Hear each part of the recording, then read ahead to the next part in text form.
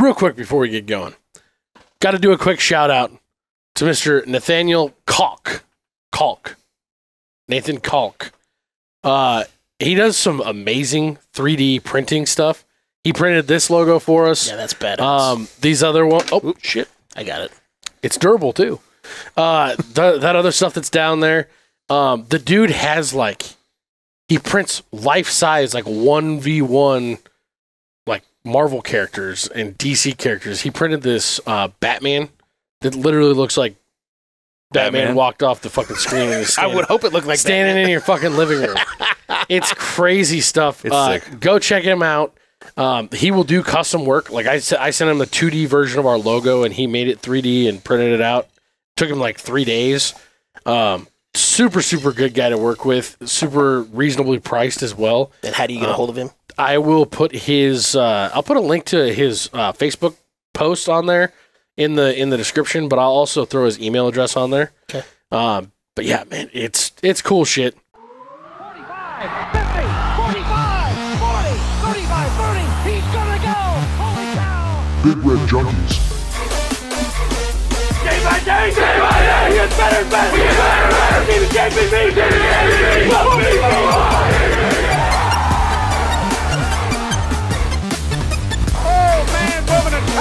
child, he turned this stadium inside out.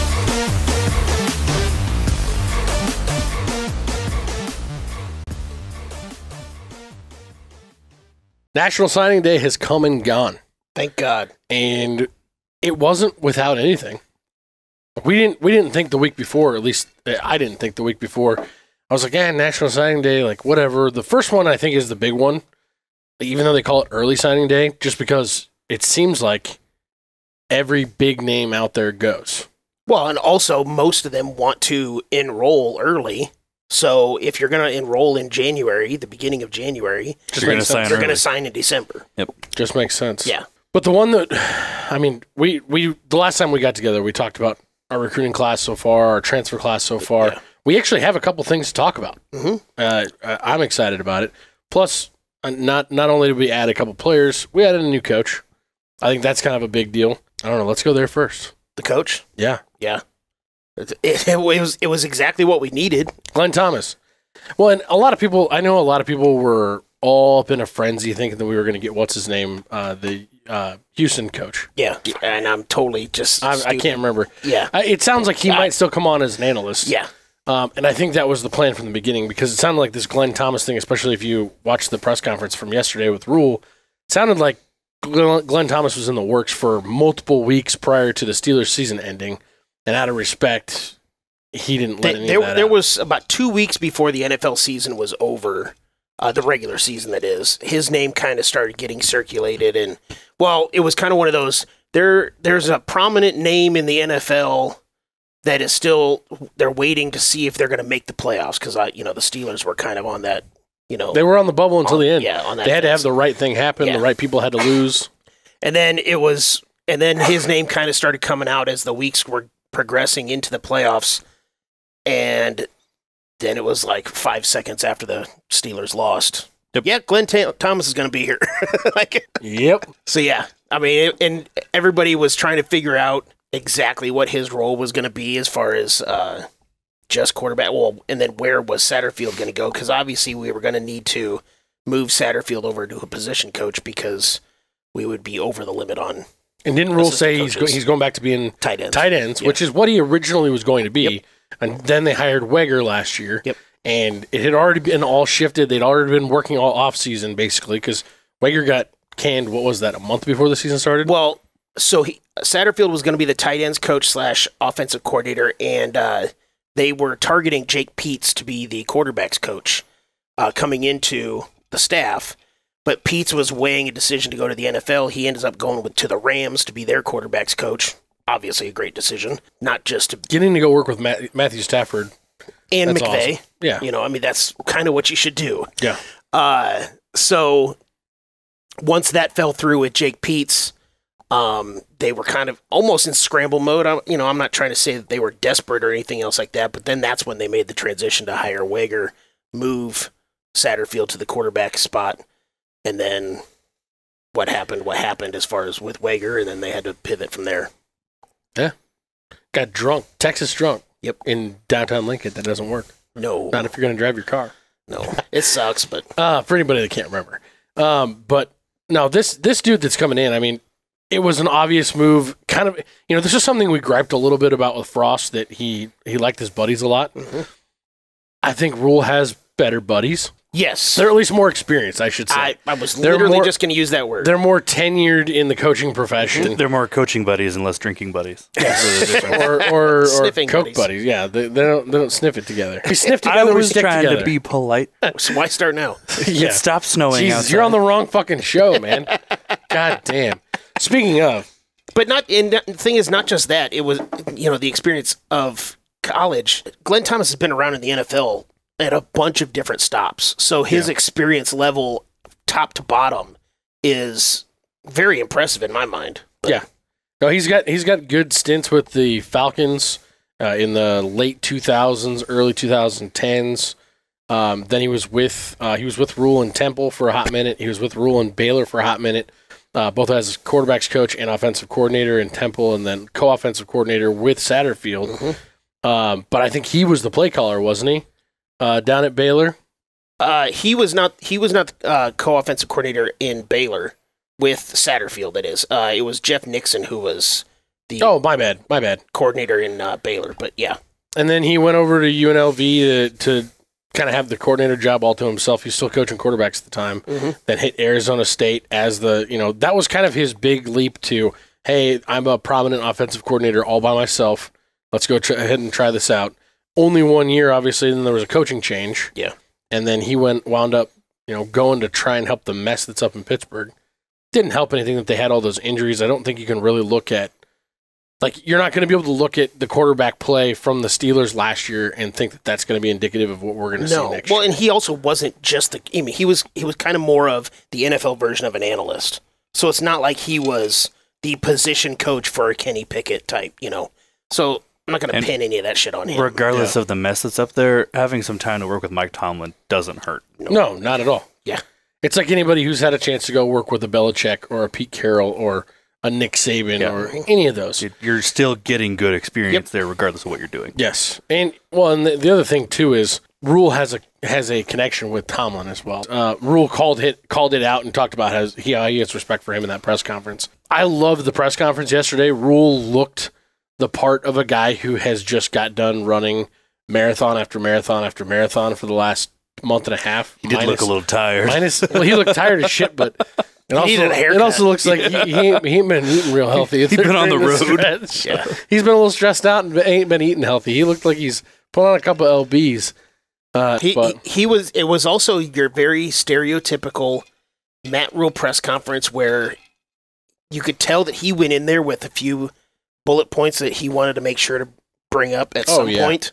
And as soon as the door even remotely opened up a little like the Satterfield thing. yeah, yeah, Did you did you get to catch the press Yeah, conference? no. Because the never- moment that they were, he was like, he was like, now let me get this straight. Let me make this clear. He, he was like I- the Kool Aid man coming through the Yeah, wall. he He, was like, up- "We're talking about this now." because they, he, they they were asking him like, so what are the duties of Glenn Thomas? Like, what is he going to do? Other, Well, is he- Sipple goes. Is he, is he going to be calling any plays? Yeah, yeah, yeah. Is he going to have any? Is he going to have any? Uh, Yep. Any say so in the play calling? And Rhule was like, he even kind of smirked a little bit. He's like, he's like, I need to set the record straight. Yep. You're There's- just waiting for somebody to Well- ask any sort of question. yep, If if you're he knew it was coming. Yeah. well, and if you're Matt Rhule, that's the absolute right way to handle it. If you're trying to make sure that your staff doesn't feel uneasy. Yeah. And that also tells you that he still has full faith in Satterfield because if he didn't, I think that he'd be, you know, he'd be letting him know, hey, for now, this is what we're doing. There was no for now, this is what we're doing. This is this is what's happening going forward. you, you I remember when Glenn Thomas first got announced and we were texting and you said uh, something to the effect of I don't know remember if you asked or if you said it does this put heat on Satterfield as an offensive coordinator I did. I said, do you guys think in- it puts heat on him? you know the co another o- offensive coordinator under Rhule in the past and I didn't think so because I think the pressure on Satterfield is external not internal and with the way Rhule phrased all that stuff yesterday, to, for me, it solidifies that. There is no. I'm not saying that there's I'll- no pressure on agree with you. Satterfield because obviously there's going to be pressure on all these coaches to win and they want to win and all that stuff. But the bulk of the pressure to succeed on Satterfield and his play calling and everything else in his offense is more external than it is Yeah, internal. I, I also don't think that that's Rhule's job to put that sort of pressure on them. That pressure's already there. exactly. But Rhule's job is it's Rhule's the head coach. All that pressure should be on him, and he should just give all of his coaches the tools that they need to do the best job that they can. And that's exactly what he does. Absolutely. And And you can tell that's where he's going.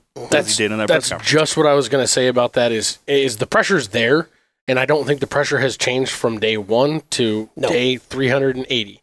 I don't think you know there's there's been no change in Rhule's demeanor, and it's shown with certain staff members that he's already eliminated, whether it be assistants or some of his, The analysts, I guess, secondary executive team that I guess I would call them. I don't I don't know how else you'd say it, but like the different guys that he's let go that it's like, hey, look, this you're not doing what we need you to do. You're you're not you know whether it be Wager last year, hey, you you stepped out of line. We can't have that here. I'm sorry, goodbye. Things like that. It's he's he's moved on from people very swiftly when he needs to, uh, and I feel like.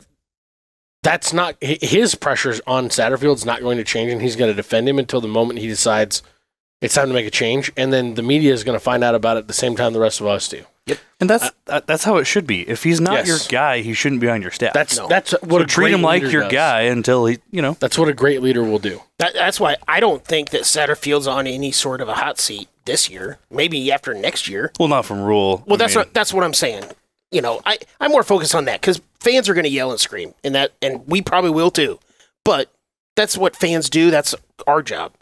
But Something I don't know that again internally. I don't think he's on any sort of a hot seat. something though that makes me question a little bit like and I, I guess i guess this is more of a, a a backup statement for me is we saw Rhule almost bend to the pressure or listen to the pressure from the outside last year Definitely listen. we saw it when it came to the quarterback situation we saw it when it came to um, a couple different things that he did as far as play calling and things like that goes throughout the season and I don't know if that's him recognizing, hey, this is an intelligent fan base, and when there's pressure, you know, it's one of those, uh, you know, where there's where there's smoke, there's fire. Typically, maybe it was just that the fan base is getting there the same time that he's also getting there to make that decision. Because we do, we we have smart, we have a smart fan base. There's fan bases out there that it's just, oh, we lost, fucking fire everybody, fuck that, and, and don't get me wrong, we have those stupid ass fans. We do, but the major the, the the majority of our fan base, it's Yes. why we get you know, it's why you have rivals rating Nebraska the most rabid and intelligent fan base and things like that, because we do have fans that just like why why do people support our show? Nebraska people want to absorb as much content about Nebraska football as they possibly can. And that's not something you find most places. And that's also leads to our fans being a little more on the intelligence side of it, things. it's one of the reasons why no matter how bad our records have been over the last handful of years i still continue to say nebraska is still a relevant program because Absolutely. you will always see them at the bottom line on the tv screen if whether it's good or bad if news happens they will always be on the, in the headlines on espn They're always going to be on the top right corner of ESPN. exactly always they, going to be up they there. are always they are still a relevant program because of the fans If you are a smart fan, hit the subscribe button for us. Support us. It's all we ask. Hit a like, hit subscribe. If you if you want to become a member, become a member. But subscribe for us. We need to get those numbers up. But man, I'm telling you, when it when it comes to getting this hire for Glenn Thomas, I think it's huge just from a standpoint of and Rhule said it yesterday in the press conference. A dedicated quarterbacks coach that's not going to be pulled away. Yep. That was part of the explanation he used to talk about why Sat is still 100% calling the plays. I don't want my quarterbacks coach being anything but focused on the quarterbacks. especially if Satterfield's going to stay up in the booth calling the plays, Yeah. and you can keep your quarterbacks coach down on the field to be able to talk to your quarterback. That's another big thing because we heard it last year with uh, Heinrich Haarberg talking about how once Satterfield made the move upstairs, they asked him like, you know, how is it now?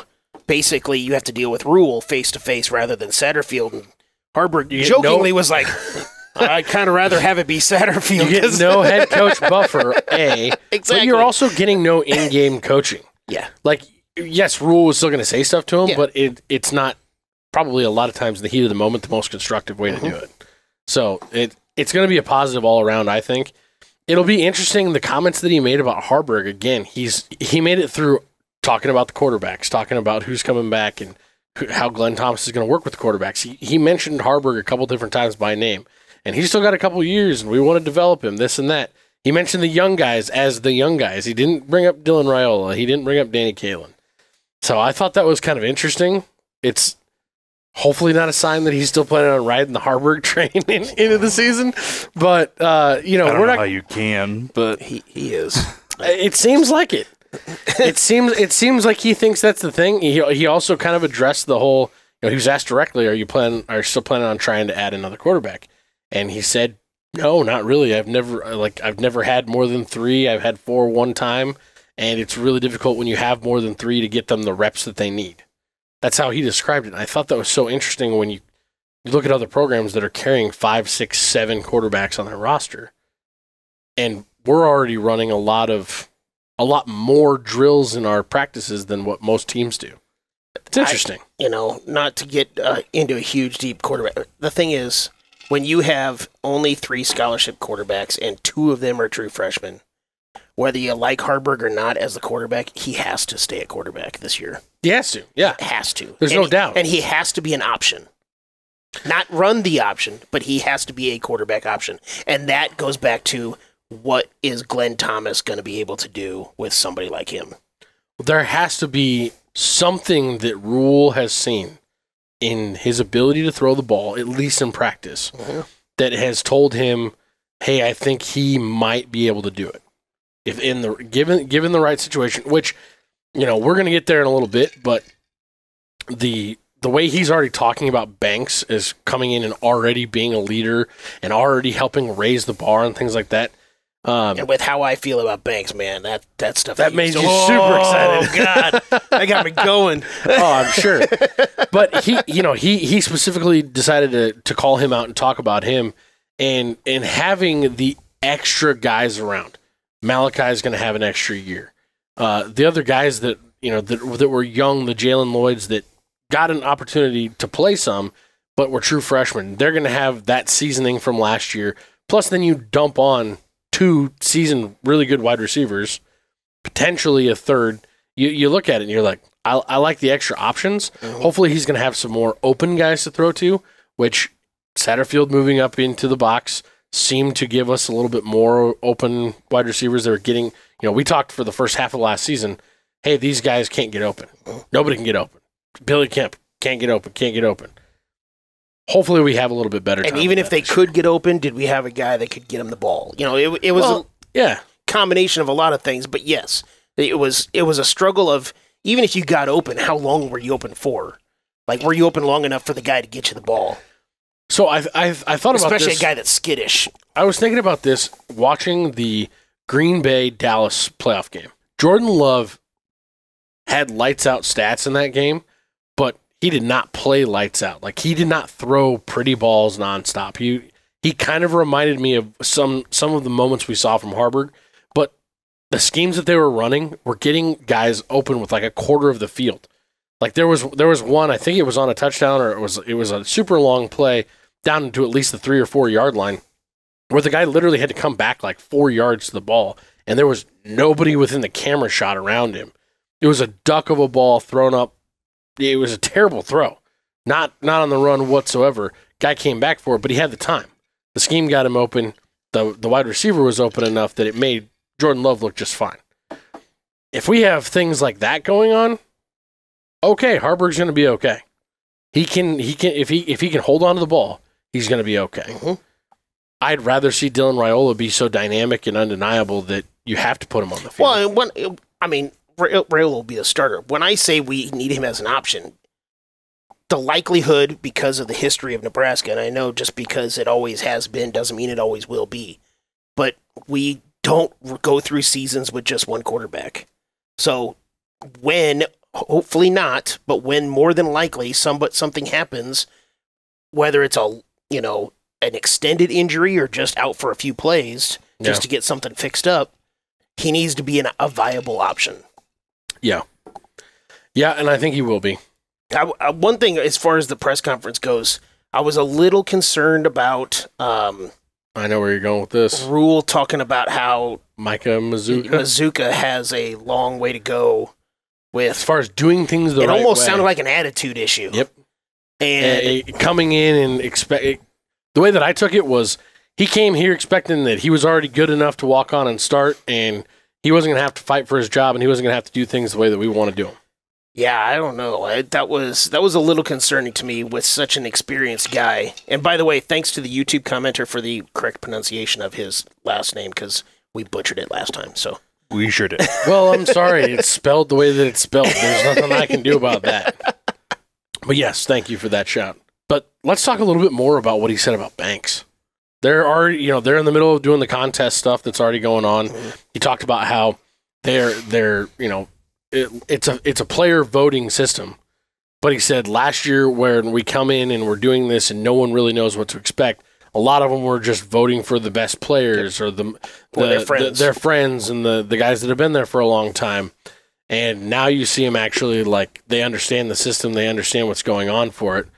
I thought it was interesting because he's to me, he, he wasn't doing it intentionally by any means, but like Fidone, if you remember, that was when Fidone was like shining last year.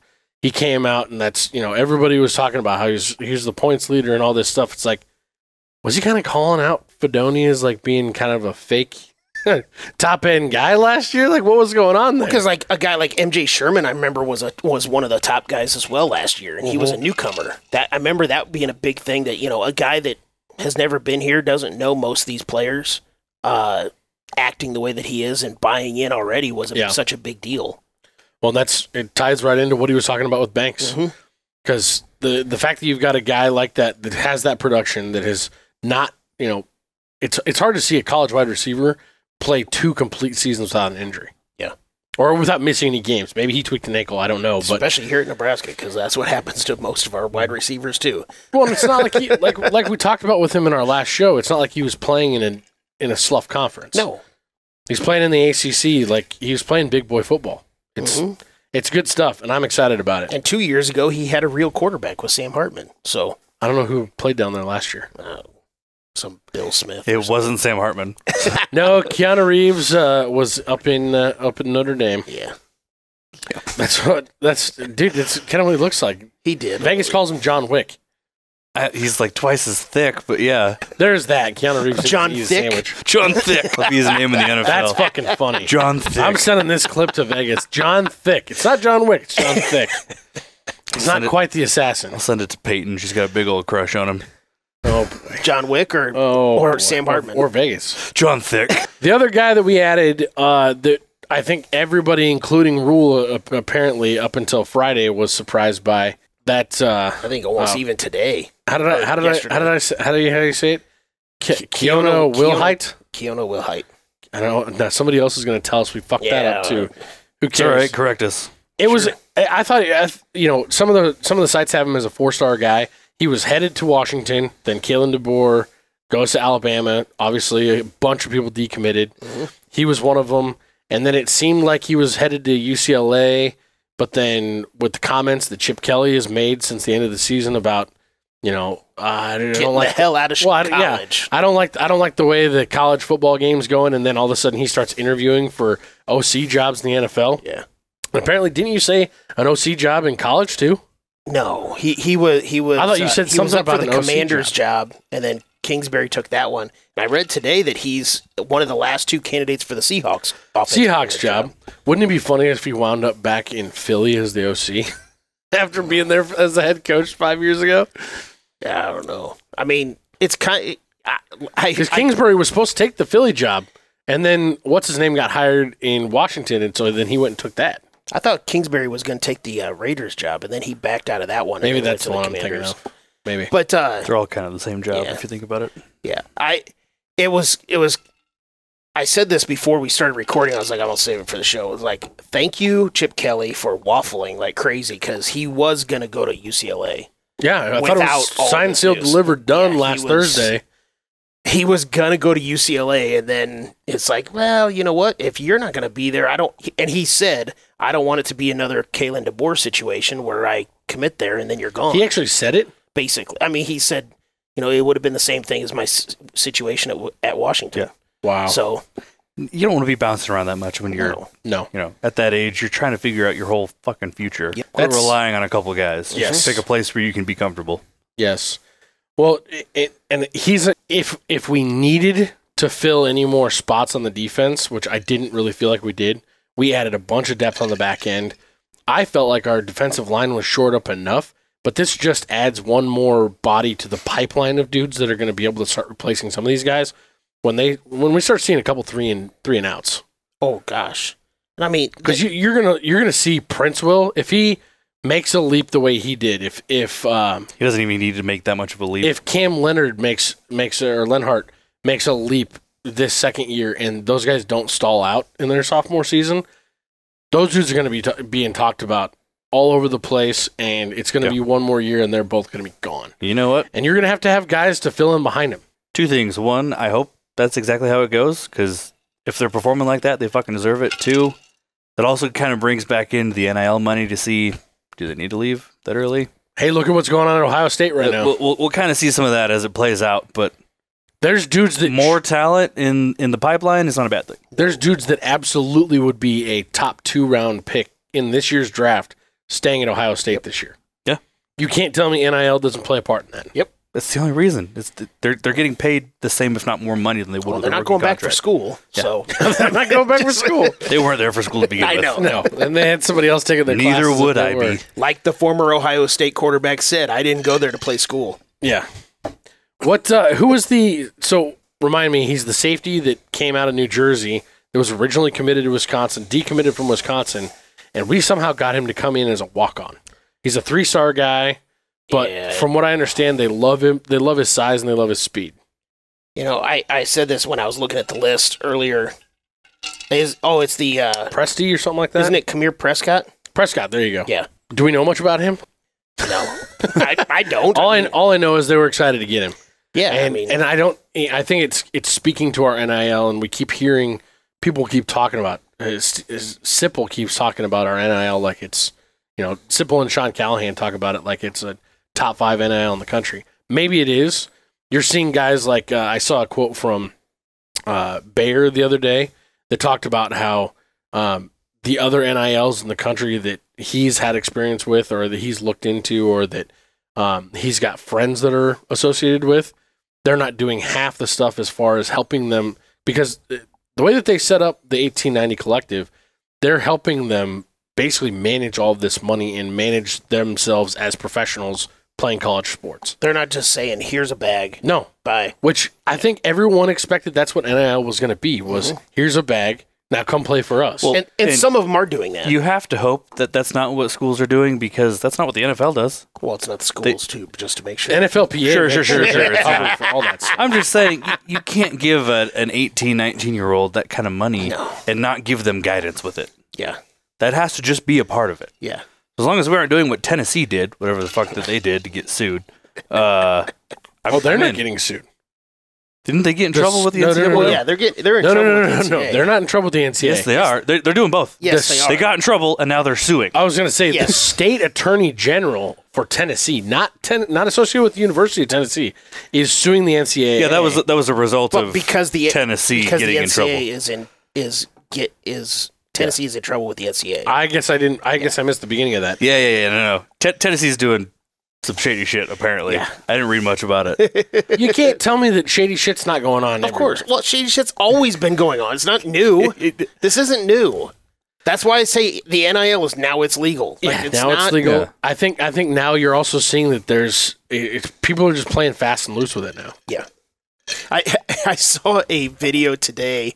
Uh, the Tulsa head coach at his press conference, he was asked about uh, you know recruits asked talking about NIL money and stuff like that, and you know again, technically speaking, the coaches are not supposed to t- say you know NIL stuff. That's why I hard rolled my eyes when you just said that. I know. And so he sh- he actually shared a text message conversation that he had with a recruit, and he's and it said something, and I'm mostly going to be paraphrasing this, and it said, uh, "Hey, coach, uh, I'm not money hungry or anything like that, but I'm just curious on what kind of NIL package I can get with you guys. Um, I'm looking for. I've got three dogs and a girlfriend, and I'm looking for about six to seven thousand a month. And the response that the coach had for the guy, the recruit, was, "Well, my first thought would be is to get rid of the three dogs, and I don't know about the girlfriend." It just makes me think of Mike Leach. like, where is Mike Leach right now? We need we need Mike Leach back. God damn, I miss him. They're fat little girlfriends. It was so funny. I was just like, okay. Let's spend less time talking about their fat little girlfriends, more time practicing. Oh my god, That's Mike Leach would have so many good quotes oh, over the last. Well, he only died two years ago. It's not like he didn't know what was going on. Yeah, but think about the things that have happened over the last couple of years. Yeah, I just thought it was. So I would love to hear him respond to Nick Saban retiring. That would be fucking hilarious. It, it would go on for like forty-five minutes. You know what? It'd somehow be classy as fuck too. It probably would oh be. gosh, yes. I don't. I don't think there's anybody that would talk about Nick Saban. I mean, maybe there are, but I don't know if there's anybody that would talk about Nick Saban other than with reverence as he as he makes his exit. Yes, That'd be crazy. yes, he would. That'd be crazy. Is there anything else we want to say about additions and and the changes? I mean, this class overall, I'm very happy with it. I don't really give a shit where we ended up in the rankings. We're never going to be one of those top five every year programs because we're not going to be attracting, you know, five or 6 I'm not going to say ever because we've done it before. Okay, maybe not. Maybe not. saying, Maybe not. Never. But I just. I. and I it won't be on a consistent basis, like what you No. said. Yeah, I just feel like we, well, first of all, unless we're unloading every year the way that a Georgia, an Alabama does, mm-hmm. we're not going to have the roster space for it or the need for it. Yep. I think we did an amazing job addressing every need on our roster. And I don't even know where we missed other than, you know, for us, we wanted to have added a fourth quarterback, but it sounds like Rhule didn't want a, a Yeah. fourth quarterback. That that would be my biggest takeaway is that we obviously had a short list of what we needed, and the coaches executed immediately and went and got what we Well, needed. we talked about it in the transfer show that we did previously, where every everything that we brought up in the recruiting show in December that we said still needed to be addressed, they addressed it in the transfer portal. Now, the one other thing, as far as scholarship guys, and I know scholar we've talked about it before, scholarships are not non-existent anymore because you get an NIL scholarship if you don't get a real scholarship. But scholarship guys, quote unquote scholarship guys, we only signed one defensive lineman, and it was this new kid, this Wilhite Yeah. kid. So But tech- we, we were really loaded at D. we were, but still bringing in the another young guy Mm-hmm. to you know f- continue the. If for This feels like a backload. Continue the pipeline. Yeah, this feels like a backload. Yes. That's what that's what this feels like. This is not. I don't. I don't. You know, we had a need to see Princewill and Cam Lenhardt get on the Yep. field last year. Now maybe he's going to be undeniable. Like I said about Dylan Raiola, be undeniable. And this guy is the force your way, force your way onto the field. Fucking cool. Yeah. awesome. Like like that kid. Uh, what's his name? The DN white kid that got and ended up getting in. I think they kept his red shirt. They only let him play in four games, but he was he was wrecking shop and he was Oh, that James Williams. Yes, Yeah. yes.